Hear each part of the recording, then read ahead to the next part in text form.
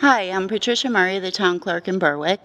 I'm here to tell you that Berwick Town offices will be opening Tuesday, May 26th. The town office lobby will be open Monday, Tuesdays, and Wednesdays from 8:30 to 4, and Thursdays from noon to 7.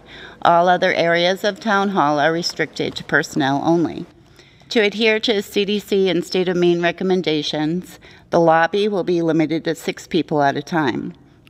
There are marked spaces on the floor in the walkway. Please wait outside until a space is available inside. Face masks or coverings will be mandatory. The code enforcement officer will continue to work remotely.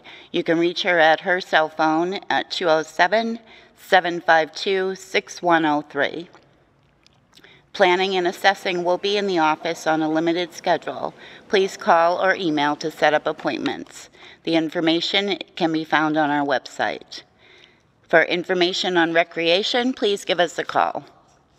We do offer several online services. You can check our website on how to pay your um, tax or water bill and how to re-register a vehicle. Also dog licensing. You can check our website again for information on that.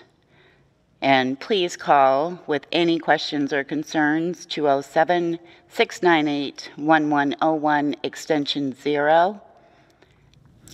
Thank you for your patience and understanding as we do our best to protect our residents and staff during this time. Our procedures and service will continue to change as the recommendations change.